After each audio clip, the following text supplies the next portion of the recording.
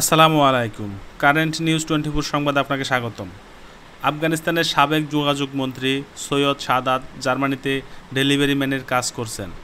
গত সেপ্টেম্বরে আফগানিস্তান থেকে জার্মানিতে পাড়ি যামান সৈয়দ সাদাত। ইউরোপের পূর্বাঞ্চলীয় শহরে লাইফোজিগে এখন তার বাস।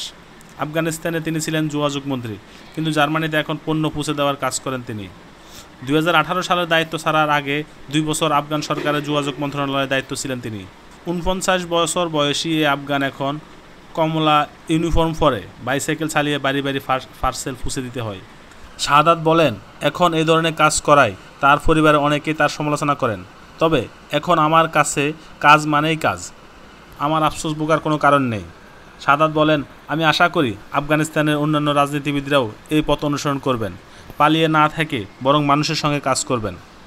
আফগানিস্তানে ফের তালেবানের দখলে যাওয়ার পর সাদাত এই গল্প অনেক দৃষ্টি কেড়েছে। তার পরিবার ও বন্ধুরা দেশ ছেড়েছে বা ছাড়তে চাইছে।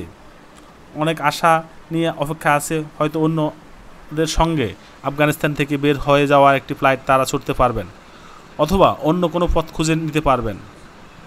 জার্মানির অভিবাসন এই শরণার্থী বিষয়ক কেন্দ্রীয় দপ্তরের তথ্য অনুযায়ী যুক্তরাষ্ট্রের সেনা প্রত্যাহারের ঘোষণার ঠিক আগে এই বছর শুরু থেকে আফগান আশ্রয়প্রার্থীর সংখ্যা একশো শতাংশ বেড়েছে। মন্ত্রিত্বের অভিজ্ঞতা থাকার পরও জার্মানিতে ভালো একটা কাজ খুঁজে পেতে সাদাতকে ব্যাক পেতে হচ্ছে, যা তার অভিজ্ঞতার সঙ্গে মেলে না। আইটি ও টেলিযোগাযোগ বিষয়ে ডিগ্রি থাকায় সাদাত আশা করেছিল সেরকম কোনো ক্ষেত্রে একটি চাকরি তিনি হয়তো পেয়ে যাবেন, কিন্তু জার্মান ভাষা জানা না থাকায় তেমন সুযোগ হয়নি।